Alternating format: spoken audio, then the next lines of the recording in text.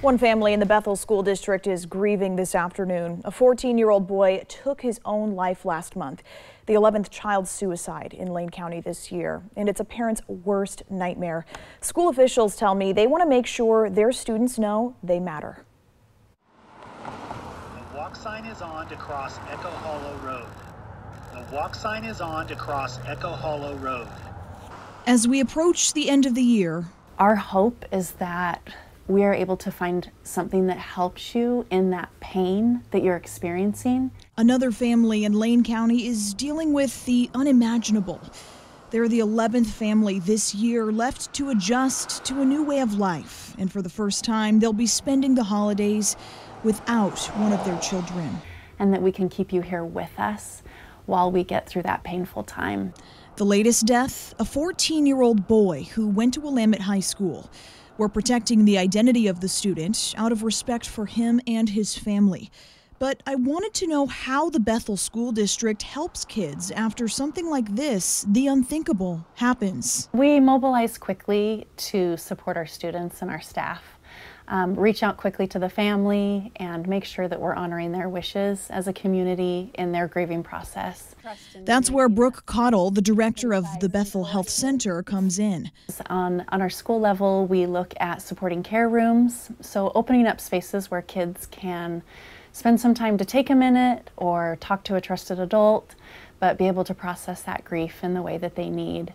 Cottle brings in volunteers like Amy Rose Wooten, coordinator of the Courageous Kids program. The program has been supporting children and their families since 1996, specifically youth who have lost a sibling, a loved one, a parent, um, just in an effort to create community um, for kids um, to be around other kids who are having a similar lived experience. Working closely with schools, Wooten and her team make sure anyone on site at the schools can help with an immediate grief response. If they have a youth that has had a major uh, loss, um, whether that is something that they kind of know is coming up expectant around chronic illness or whether it's immediate, um, they can contact us at any time and we'll come out with resources, supplies, and do some care coordination around getting that youth and family coordinated not only to our services but other services in the community as well. But it's not just trusted adults kids can go to. In middle school, I wasn't really a helpful person, but ever since I got through high school and like COVID, I've always enjoyed helping people. Samantha Kurzel is a senior at Willamette High. She's involved in Bethel's Sources of Strength program, the district's suicide prevention program. It makes me feel like whenever they say thank you or they have that smile on their face, just like, oh, that makes so much sense. Thanks, all for the help. I just, I get this warm feeling and I enjoy helping people. It's meant to help get students involved in helping their peers and increase positive interactions between adults and students. So sources are actually a way for people to get out and do something that they enjoy doing, like helping other people. But even with these resources for students and their families, there are still challenges to overcome. I think there is still to this day a lot of stigma around just the word. But I think the more that we can talk about it with our kids, with our families, the more that those conversations can be preventative rather than reactive.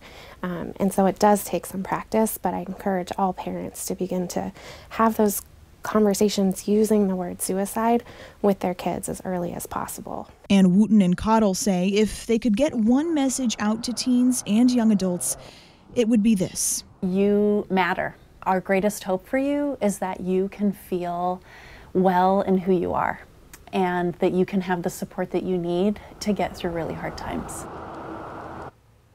Wooten tells me uh, Courageous Kids is hoping to get more funding, which she says will eventually help expand their service lines to include groups dedicated specifically to loss around suicide. But before that happens, they're still tirelessly working to make sure kids and families in our community get the critical mental health help they need. If you or someone you know is struggling, you can also call 988 anytime.